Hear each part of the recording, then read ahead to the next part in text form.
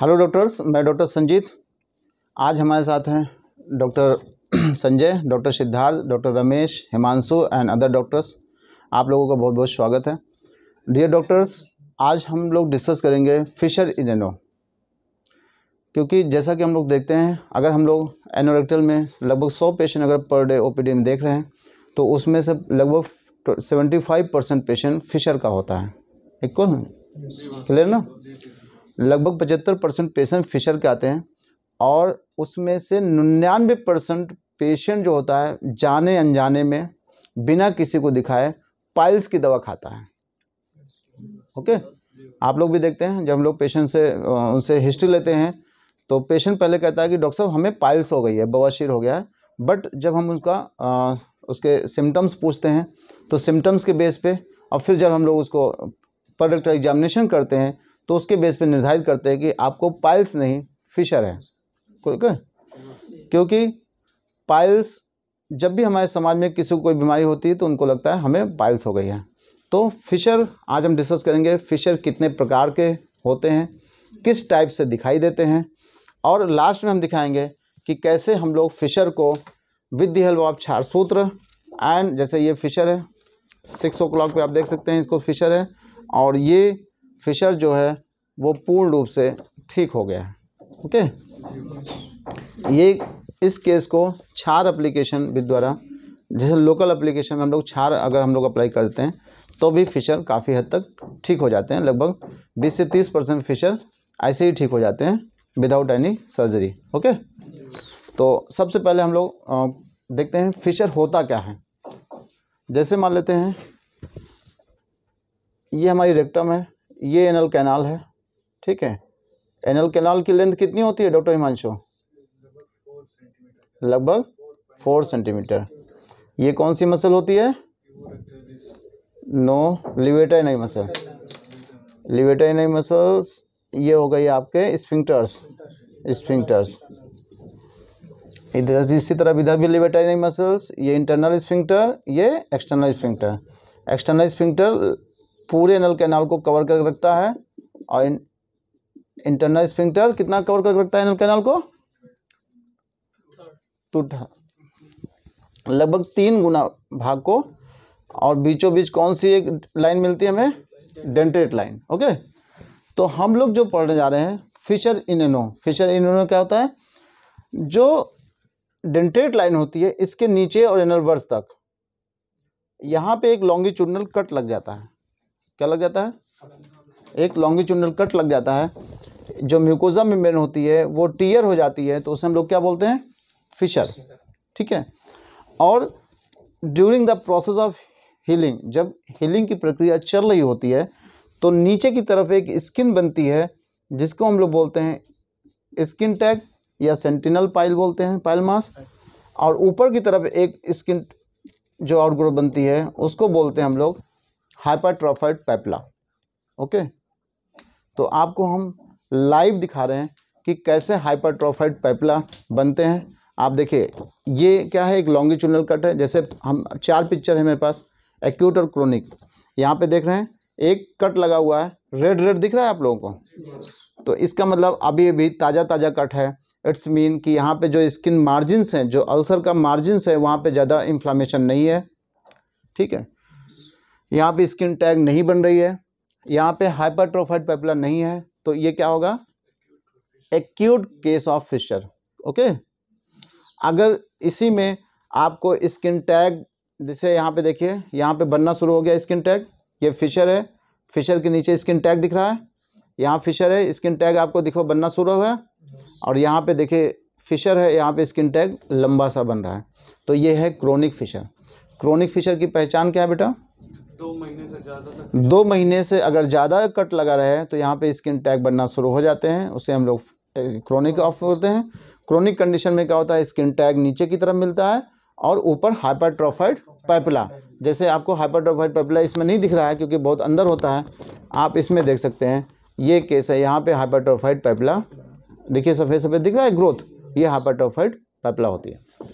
Okay तो what is fissure a longitudinal cut in the inner lining of the anal canal is called as fissure acute and chronic दो प्रकार की होती है। दो महीने से पहले का कट है एक्यूट ज़्यादा दिन का हो गया, उससे ज़्यादा तो क्रोनिक एक्यूट में आपको जो अल्सर्स होता है, जो घाव होता है, जो कट होता है, उसके जो मार्जिन्स होते हैं, जैसे यहाँ पे अगर एक कट लगा है तो भाई इसका एक फोल्ड इधर होगा, एक फोल्ड एक मार्जिन इधर होगा तो इसके जो मार्जिन्स होते हैं ज़्यादा इन्फ्लेम्ड नहीं होते हैं। ठीक है? क्लियर और जो एक्यूट केस का पेन होता है वो थोड़ा ज़्यादा होता है। उस समय एक्यूट कंडीशन में चूँकि अभी भी कट लगा है थोड़ा सा ब्लड ज़्यादा हल्का फुल्का ब्लड ज़्यादा आता है क्रोनिक के कंपेरिजन में। ठीक है? ठीक है? तो हम लोग ऐसे पहचानते हैं। अब इसको कैसे पहचाने कि ये फिशर है ये तो आपने देख लिया लेकिन हम डिफरेंशियल डायग्नोसिस बनाएँ।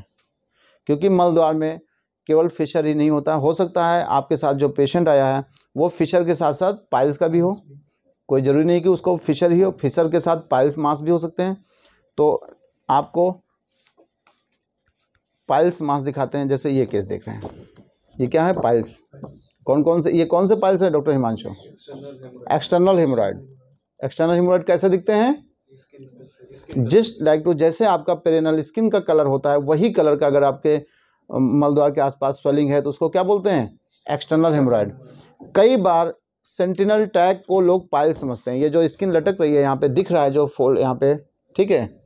इसको क्या समझते हैं लोग? पाइल्स तो स्किन टैग और पाइल्स में कैसे अंतर आप पहचानोगे?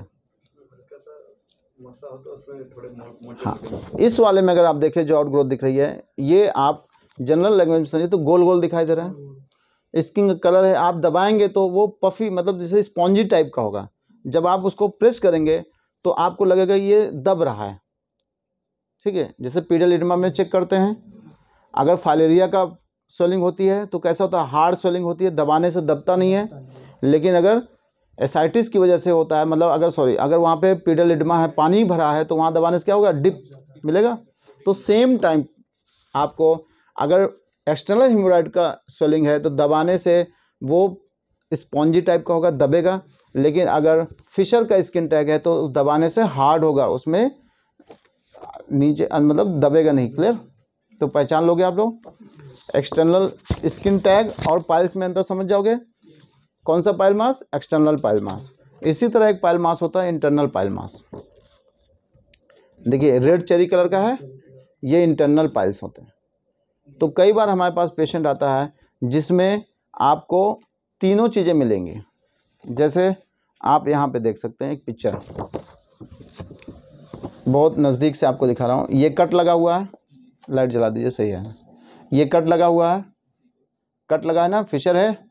अभी भी ताज़ा ताज़ा कट है? ठीक है।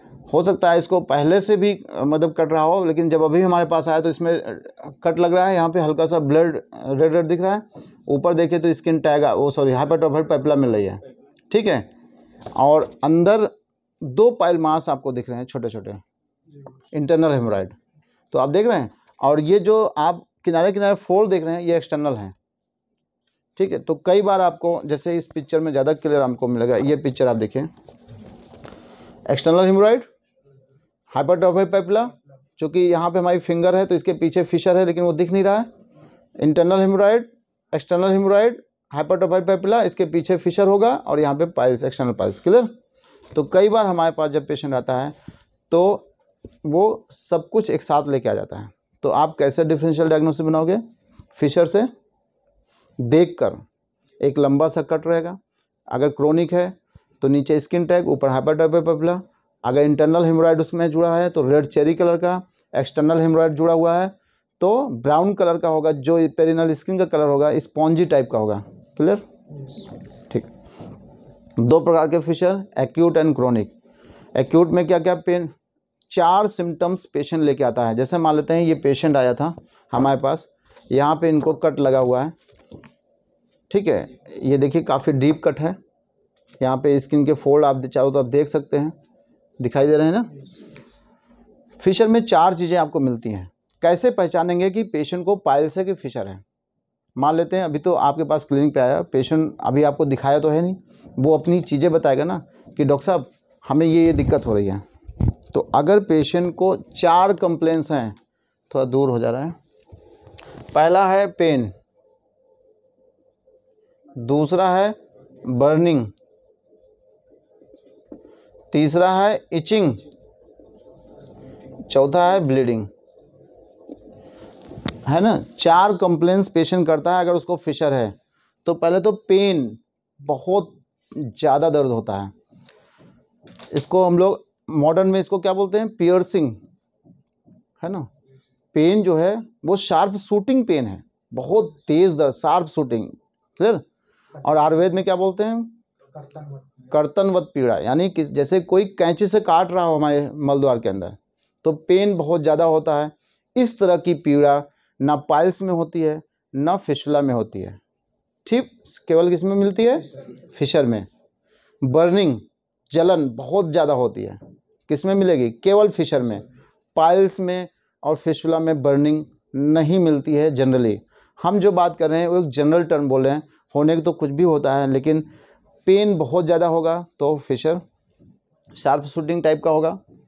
बर्निंग जलन बहुत ज़्यादा होगी तो फिशर इचिंग खुजली हो रही है, मलद्वार में खुजली हो रही है तो फिशर लेकिन एक बीमारी और है, वहाँ भी इचिंग होती है। फंगल इन्फेक्शन कई बार मलद्वार के आसपास फंगल इन्फेक्शन लग जाते हैं तो उसमें भी इचिंग होती है। तो आपको ये देख लेना है कि भाई अगर केवल इचिंग बता रहा है तो एक बार पर एग्जामिनेशन करके चेक कर लीजिए, कहीं ऐसा तो नहीं उसको क्रोनिक फिशर हो, क्योंकि क्रोनिक फिशर में पेन कम हो जाता है इचिंग ज़्यादा होने लगती है। क्लियर और ब्लीडिंग लास्ट में क्या है? ब्लीडिंग ब्लीडिंग जो होती है, पाइल्स में बहुत ज़्यादा मात्रा में होती है और फिशर में कम मात्रा में होती है। फिशर में जो ब्लीडिंग होती है, वो जब आप पेशेंट से हिस्ट्री लेंगे, कहेंगे, जब आप मल त्याग के लिए बैठते हैं तो ब्लड कैसा आता है? अगर बहुत तेज़ धार दे के आ रहा है, पिचकारी जैसा ब्लड आ रहा है तो इट्स मीन कि कोई बड़ी वेन कट गई है, सुपीरियर रेक्टल वेन टीयर हो गई है। और कई बार ऐसा होता है कि एक्सटर्नल जो पाइल्स होते हैं उसमें चोट लगने की वजह से। जैसे मान लो कॉन्स्टिपेशन बहुत ज़्यादा है फीकोलित समझते हैं आप लोग? हार्ड स्टूल को फीकोलित बोलते हैं।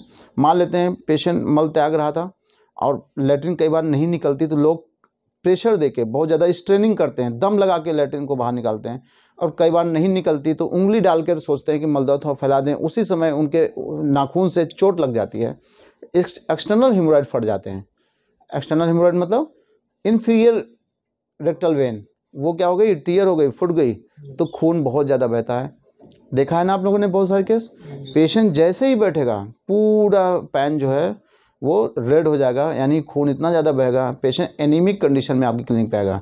खून की कमी बहुत ज़्यादा होगी। आप जैसे ही पेशेंट बताया मुझे घबराहट हो रही है सीढ़ियाँ चढ़ने पे सांस फूलने लग रही है तो सबसे पहले क्या करेंगे आप लोग? पैलर एग्जामिनेशन आँख देखकर तुरंत चेक करेंगे कहीं ऐसा तो नहीं पेशेंट आपका एनीमिक है। क्लियर तो हम लोग चार सिम्टम्स होते हैं पेशेंट को पेन बर्निंग इचिंग और ब्लीडिंग पेन बहुत ज़्यादा होगा बर्निंग बहुत ज़्यादा होगी इचिंग कम मात्रा में होगी या थोड़ा बहुत होगी, लेकिन डिफरेंशियल डायग्नोसिस इचिंग से किससे बनाएँगे? फंगल इन्फेक्शन से. और ब्लीडिंग कम है तो फिशर ज़्यादा है तो पाइल्स कई बार फिशर में ब्लीडिंग होती ही नहीं है. ठीक है? तो ये हो गया आपका। अब आता है कि कॉम्प्लिकेशन क्या होते हैं फिशर में? जैसे फिशर किसी को है तो आप देखते होंगे कि जब वो स्टूल पास करने जाता है यानी बावल हैबिट यानी जब मल त्याग के ले जाएगा तो पेशेंट क्या होता है धीरे धीरे ये बताता है कि पहले तो हम लेटरिन सही से जाते थे अब मेरा बहुत कॉन्स्टिपेशन बहुत ज़्यादा हो गया है तो ऐसा क्यों हो रहा है? मतलब तेज़ बोलिए। कम मतलब वो अपना फाइबर डाइट कम लेता है और खाना उल्टा सीधा खाता है मीट वो ज़्यादा खा लिया। प्रोटीन डाइट ज़्यादा। नो और? देखिए, हमने कॉम्प्लिकेशन की बात की, हमने डाइट की बात नहीं की। आप जो है डाइट पे चले गए, क्योंकि हो सकता है पेन की वजह से खाना कम खा रहा हो थोड़ा सा। देखिए, जब भी पेशेंट को क्रोनिक कॉन्स्टिपेशन होगा या पेन बहुत ज़्यादा होगा, मान लेते हैं पेशेंट को यहाँ पे फिशर है एग्जांपल ये फिशर है लॉन्गिट्यूडनल कट है। कहाँ पे है? डेंटेट लाइन से नीचे। डेंटेट लाइन से नीचे जो फिशर होता है, वो बहुत ज़्यादा पेनफुल होता है और डेंटेट लाइन के ऊपर जो फिशर होता है कट लगता है, वो बहुत पेन पेन होता ही नहीं है। क्यों? डॉक्टर हिमांशु, क्यों? गुड डेंटेट लाइन के ऊपर जो नर्व है ऑटोनॉमिक नर्व का इनर्वेशन है, और ऑटोनॉमिक नर्व जो होती है पेन और टेम्परेचर को सेंस नहीं करती है। अगर यहाँ पे गहरा चोट भी लग जाए तो पेशेंट को दर्द ही नहीं होगा। क्लियर तो डेंटेट लाइन के ऊपर जो ऑटोनॉमिक नर्व होती है, वो पेन और टेम्परेचर को सेंस नहीं करती है, केवल प्रेशर को सेंस करती है। यहाँ पे कोई दबाव पड़ेगा, तब आपको पता चलेगा पेन और टेम्परेचर नहीं पता चलेगा। नीचे क्या होता है? सोमेटिक नर्व का इनर्वेशन होता है। पुडेंडल नर्व पढ़ा आपने? पुडेंडल नर्व नहीं पढ़ा। पुडेंडल नर्व जो होती है, या यहाँ पे सप्लाई है। हम लोग जब नर्वस सिस्टम थोड़ा सा इसमें डिस्कस करेंगे तो आपको डिटेल में बताऊँगा। तो यहाँ पे ऑटोनॉमिक नर्वस सिस्टम का इनर्वेशन होता है below the dentate line that's why patient feels very pain बहुत ज़्यादा पेन होता है। क्लियर जब भी यहाँ पे पेन होगा जैसे आपको सुई चुप जाए तो आपका हाथ कैसे होगा? अंदर की ओर खींचेगा। इसी तरह जब मल द्वार पे पेन होता है तो पेशेंट क्या करता है? अपना एनलवर्ज को सिकोड़ लेता है। Because of spasm of internal and external sphincters clear internal और एक्सटर्नल स्फिंक्टर के स्पाज्म की वजह से मल द्वार छोटा हो जाता है। पेशेंट कहेगा आप जब पर एग्जामिनेशन करेंगे तो देखेंगे मल द्वार उसका फैलेगा ही नहीं। ऐसे लगेगा कि आपका फिंगर ही नहीं जा रही है अंदर जब पर एग्जामिनेशन करेंगे। तो because of spasm of sphincters अब स्फिंक्टर्स की बात आई तो आप समझ लीजिए, जो ये है इंटरनल स्फिंक्टर्स है, ये पूरी एनल कैनाल का लगभग तिहाई भाग, जैसे ये चार सेंटीमीटर की एनल कैनाल है तो लगभग एक तीन बटा चार भाग ये कवर करता है। ये जो होता है ऑटोनॉमिक नर्व की वजह से जो होता है हमारे कंट्रोल में नहीं होता, क्या होता है? ये ऑटोनॉमिक नर्व से सप्लाई होती है और ये सर्कुलर मसल से बना होता है। जो स, समझ गए ना इनवॉलेंट्री नेचर होता है मतलब अंडर कंट्रोल ऑफ़ ह्यूमन नहीं है। ये इसका कंट्रोल अपने आप होता है। और ये एक इसमें चार चीज़ें याद रखना है। इंटरनल स्फिंक्टर रेक्टम की जो सर्कुलर मसल होती है उसका उसका कंटिन्यूएशन होता है। और पूरी एनल कैनाल का लगभग एक चार बटा तीन हिस्सा कवर कर रखता है। ठीक है? कौन सी मसल का बना होता है? सर्कुलर मसल्स का बना होता है। हमारे अंडर कंट्रोल में नहीं होता यानी इनवॉलेंट्री नेचर होता है। उसके कंपैरिजन में जो एक्सटर्नल स्फिंक्टर होता है अच्छा इसमें एक चीज़ और है। जो हमारी एनल टोन होती है उसका पचासी प्रतिशत टोन को मेंटेन करने में इन, जो इंटरनल स्फिंक्टर होता है वो पार्टिसिपेट करता है। क्लियर और ये जो है ये एक्सटर्नल स्फिंक्टर है। एक्सटर्नल स्फिंक्टर स्ट्राइटेड मसल का बना होता है। वॉलेंट्री इन नेचर होता है। ठीक है? पूरी एनल कैनाल को कवर कर रखता है। और इसका जो, इसमें तीन कंपोनेंट होते हैं, ठीक है? ये जो एक्सटर्नल स्फिंक्टर होता है, इसके तीन कंपोनेंट्स होते हैं। जो इसका डीप कंपोनेंट होता है, वो प्यूबोरेटलिस मसल से जुड़ता है। प्यूबोरेटलिस मसल और लिवेटाइनाइन मसल सब मिलकर क्या बनाती है? इनोरेटर रिंग और जब पेन होता है तो ये दोनों रिंग्स क्या, जो इंटरनल स्फिंक्टर एक्सटर्नल स्फिंक्टर ये इस पाज में चले जाते हैं। तो इसीलिए आपने पढ़ा होगा लॉर्ड डायलिटेशन पढ़ा है कभी? फिशर का एक ट्रीटमेंट होता है। पेशेंट से ये जनरल एस्थीसियम किया जाता है। यहाँ पे डायलेट करते हैं नल कैनाल को, ताकि हमारे जो स्फिंक्टर के स्पाज में है वो धीरे धीरे क्या हो जाएँ? रिलैक्स हो जाएँ। आपने देखा होगा, हम लोग जब फिशर का पेशेंट रहता है, उनको बोलते हैं कि आप जेंटल अपने हाथ से धीरे धीरे अपनी एनल कैनाल को धीरे धीरे डायलेट करिए। ठीक है? ताकि आपको इंजरी भी ना हो, और धीरे धीरे जो आपके एनल स्पाज्म हैं वो धीरे धीरे क्या हो जाए रिलैक्स हो जाए। आपका जब मल द्वार रिलैक्स हो जाएगा तो एनल कैनाल क्या हो जाएगी? थोड़ा सा वाइड हो जाएगी। जब आप मल त्याग के ले जाएँगे तो क्या होगा? आसानी से मल रेक्टम से बाहर आ जाएगा। क्लियर तो एक ट्रीटमेंट आपको दिखाते हैं। इतना तो समझ में आ गया? तो अब इसके ट्रीटमेंट की बात करें जैसे हम आपको यहाँ पे दिखाएँ एक केस दिखा रहे हैं। देखिए इंटरनल हेमोराइड डेंटेड लाइन के ऊपर होते हैं एक्सटर्नल हेमोराइड डेंटेड लाइन के नीचे। नीचे होते हैं। ठीक है क्लियर हो गया? जैसे ये एक केस है फ़िश फिशर का सिक्स ओ क्लॉक पे फिशर होता है हाँ। अब थोड़ा सा ये पढ़ते हैं कि अगर पुरुष है तो उसको फिशर कहाँ ज़्यादा बनता है और महिला है तो फिशर कहाँ ज़्यादा बनता है? बताइए डॉक्टर साहब। तो अगर पुरुष पुरुष आपके यहाँ क्लिनिक पे आया है तो मोस्ट प्रोबेबली आपको फिशर कहाँ मिलेगा? हाँ। और फीमेल होती है तो उनको अच्छा ऐसा क्यों है? किसमें? फीमेल्स में। लैक ऑफ़ पेल्विक फ्लोर अब पुरुषों में क्यों ऐसा है? क्योंकि जो जो आपकी जो वर्टिब्रा तेज बोलिए थोड़ा आवाज़ जो वर्टिब्रा है हाँ। आपके एनल कैनाल के ठीक पीछे ही होती है जो कि आपके जब जब मल जहाँ इकट्ठा होता हाँ। है। उसको प्रेशर दिया रहती है फोल्ड रहता है और डायरेक्ट नीचे देखो बेटा ये कौन सा सेक्शन है? सजाइटल सॉरी कोरोनल अगर हम सजाइटल सेक्शन बनाएँ तो ये क्या होती है? बैक एक सॉरी ये बैकबोन है। ठीक ना? ये क्या है? सैक्रम और कोकिक्स है? ये सैक्रम है कोकिक्स है, और रेक्टम क्या होती है? ऐसे होती है। ठीक है? तो जो पुरुषों में पीछे की तरफ़, जैसे यहाँ पे देखिए, ये क्या है? बैक साइड में पोस्टीरियर साइड में कट लगा है। पुरुषों में 80 प्रतिशत, लगभग 90 परसेंट जो फिशर बनता है सॉरी 90 परसेंट फिशर वो पोस्टीरियर साइड में बैक साइड में, और 10 परसेंट आगे की तरफ़ एंटीरियर ऐसा क्या है?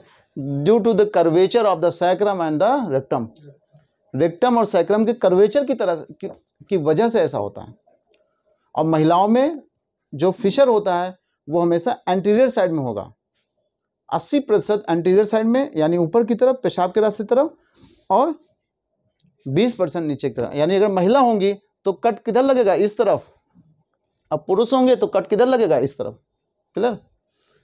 महिलाओं में इसलिए ऐसा होता है कि lack of support of pelvic floor पुरुषों में due to curvature of sacrum and rectum clear?